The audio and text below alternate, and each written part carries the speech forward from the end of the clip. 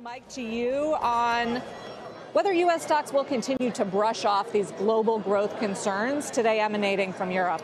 Yeah, the quiet really remains the story, and I think it's no it's no accident that the market firmed up as as Europe closed, as you guys have been alluding to. Also, bond yields in the U.S. ticked slightly up uh, from that moment too.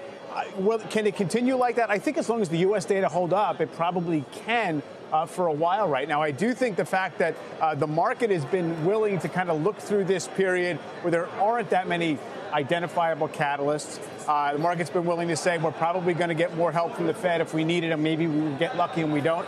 That seems okay for now, but I am conscious of the fact that we're using up a lot of energy to stand still in terms of the broad indexes. So you have to see uh, if that breaks one way or the other before we get an excuse to, to you know, to have some some better news. That is, that is such a Mike Santoliism. It's true. Using up a lot of energy to stand still. We're doing it. What does that mean?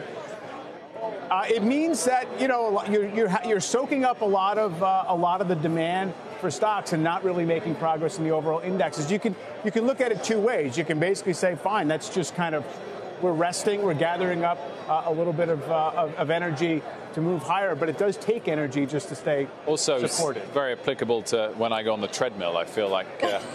Very tiring. It's, for me right now, Unbelievably everything takes a lot of energy results, to stay still. Always. So it's, it's, it's apt. Uh, Alicia, I was going to say, back to the Eurozone data, where do you stand on whether that, that's a factor for U.S. equities? So if I could just add another metaphor here, I would say this market is like boiling the frog slowly. So this morning we had another hit to fundamentals, and yet the market is 1% off the highs.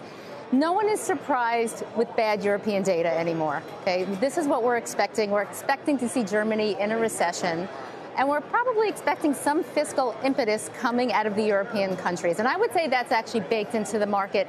Interestingly, France is up 21% this year. Even the, the, the, European markets are up just like the S&P, about 20% this year, which is telling you that pretty much the bad news is baked in. Here in the U.S., the Citi Economic Surprise Index is ticking upwards, and that's why you see the consumer companies doing pretty well, and housing's ticking up as well. Mark, Mike, sorry, last week uh, you, you looked at the market breadth, and that, that's an encouraging bullish signal? Yeah, hit an all time high, uh, the, the kind of advanced decline line. It did uh, last week, about Wednesday or Thursday. Uh, today, breadth was positive again, so it's sort of flattened out, but at a record level. Typically, that does mean that the overall index remains you know, reasonably well supported. Uh, very often, like last September in 2018, breadth gave way before the overall market did. So that's one of the things I think the bulls are, are really pinning their hopes on. In terms of sector performance, Mark, uh, consumer staples and consumer discretionary did have a good day. Is this, is this still going to be largely defined by what bond yields do based on where we see the sector strength and weakness? I, I, think that's definitely relevant for consumer staples. Consumer discretionary, on the other hand, it's really just because the entire world, not just the United States, the entire world is relying on the U.S. consumer to keep this thing going. You know, the entire world. And you mentioned some of these consumer names hitting all time highs Walmart, Dollar Tree. So we own Walmart, we own Dollar General. TJ Maxx. So buying preferences have changed. The consumer is now more price conscious. That's why the Walmarts, Dollar Trees, Dollar Generals, and TJ Maxxes are all working. Uh, Alicia, in terms of what we've seen in, in the move in yields, they did pick up, now coming back down again. Does that mean that you can't buy the banks? I think you do buy the banks because I think ultimately you're, you're, you're steepening the yield curve eventually. The, the Fed is clearly clearly trying to disinvert the yield curve, and I think the Fed has the markets back.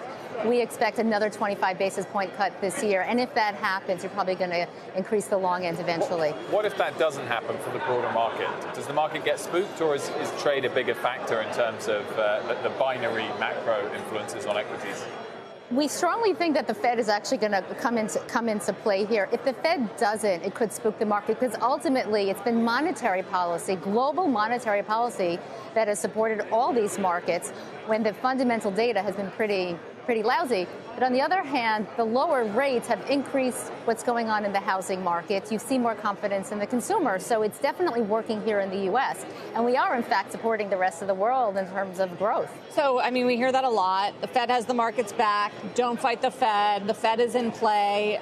Does that mean with 20% gains so far this year in the S&P 500, the downside is limited still? It seems like that equation works for now. It does. I mean, also you're seeing people de-emphasize the earnings growth story. I don't think expectations are particularly high for earnings growth going into next year.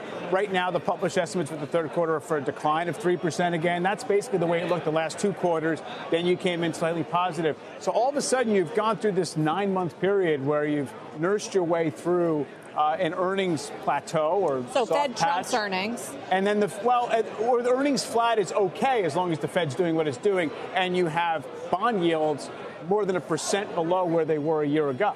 But then trade is a wild card. Right, and the Fed story is very bound up with trade. I mean, some would argue that you probably need a bad surprise on trade to make sure the Fed cuts again, which is not the best equation, but of course that's debatable.